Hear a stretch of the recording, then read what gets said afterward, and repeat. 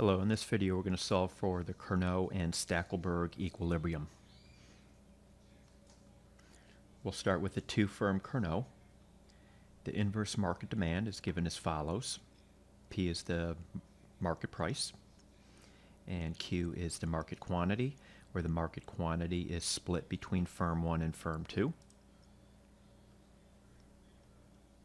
If we were to substitute in for Q, would put in q subscript 1 plus q subscript 2 to get this result.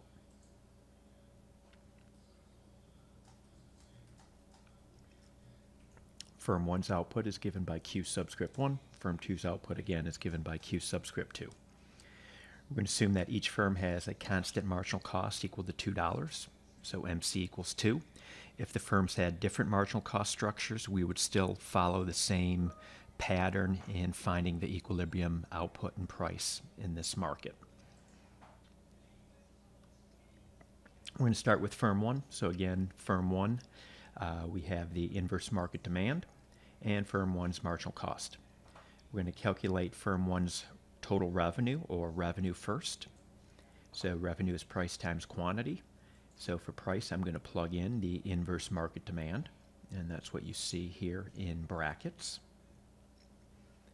And then I'm just going to simplify a little bit of what's in brackets. So minus 2 times q subscript 1 minus 2 times q subscript 2. We get this result. And then multiplying this q subscript 1 throughout what's presented in the brackets, we now get this.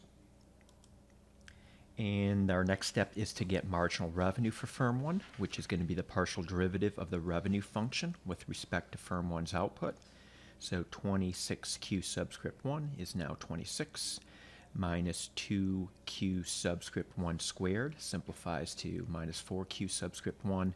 And then our last term here, the partial derivative of that with respect to q subscript 1 leaves us with minus 2q subscript 2. To maximize profits, we'll set marginal revenue equal to marginal cost. As I said, the marginal cost for firm 1 is 2.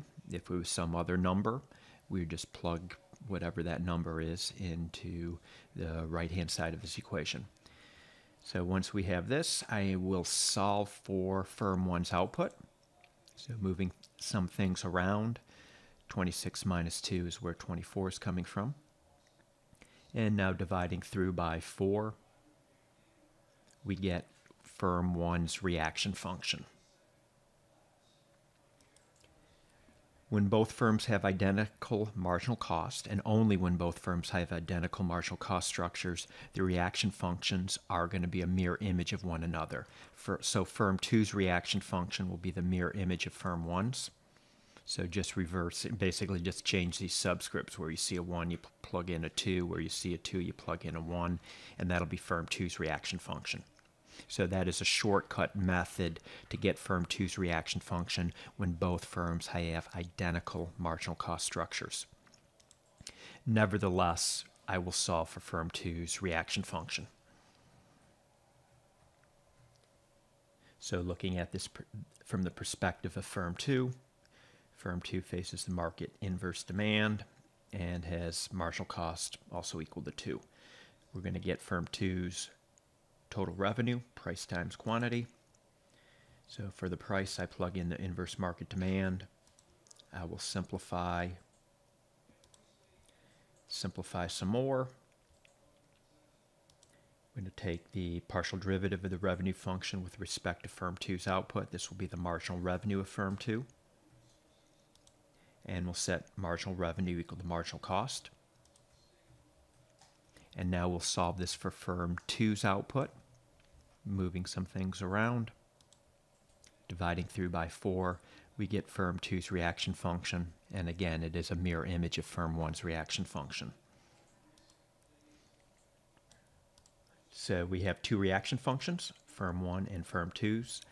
We have two equations and two unknowns, so I will substitute firm 2's reaction function into firm 1's reaction function. So here's firm 1's reaction function, and for firm 2, where I have a q subscript 2, I'm now plugging in 6 minus 1 half q subscript 1. Now we're going to just solve this for q subscript 1. So minus 0.5 times 6 is minus 3. Minus 0.5 times minus 0.5 gives us the plus 0.25. And that's multiplied by the q subscript 1. Uh, 6 minus 3 is just 3. And then subtracting minus 0.25 q subscript 1 from both sides. We have this now on the left-hand side. And so 1 minus 0.25 leaves us with 0.75 q subscript 1. And dividing through by 0.75, firm 1 will produce 4 units of output.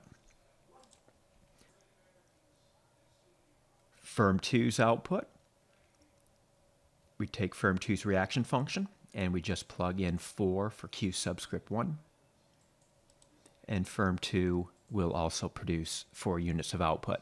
So when both firms have the same cost structure, each firm will produce the same amount of output. To get the price that each firm will sell its product for, we go back to the inverse market demand and we're just going to plug in our values for firm 1's output and firm two's output. So doing that, simplifying, the output will sell for $10 a piece in this two-firm Cournot model. All right, let's move on to Stackelberg. We're going to assume firm 1 is the leader. Firm 1 sets its output first. Firm 2 sees firm 1's output, and then will set its output. So same kind of setup here, same inverse market demand. We're going to assume each firm has the same marginal cost structure. I'm going to we're going to need this information. Uh, this is firm two's reaction function. When firm 1 sets its output, it's going to consider how firm 2 will respond to that output. So that's why I have firm 2's reaction function here. So once again, we're going to get firm 1's revenue, price times quantity. For price, I substitute in the inverse market demand. I'm going to simplify that a little bit. And then what I'm going to do here, where I have this Q subscript 2, I'm going to plug in firm 2's reaction function. Okay, so for Q subscript 2, I plug in firm 2's reaction function. And now we're just going to simplify this some more. Minus 2 times 6 is minus 12. Minus 2 times negative 0.5 is going to be plus 1, plus Q subscript 1. Simplifying that some more, 26 minus 12 is 14, minus 2 q subscript 1 plus q subscript 1 is just minus 1 q subscript 1. And simplifying some more after multiplying this q subscript 1 through what's in brackets. We're going to get marginal revenue for firm 1, and this will just be 14 minus 2 q subscript 1 we set marginal revenue equal to marginal cost.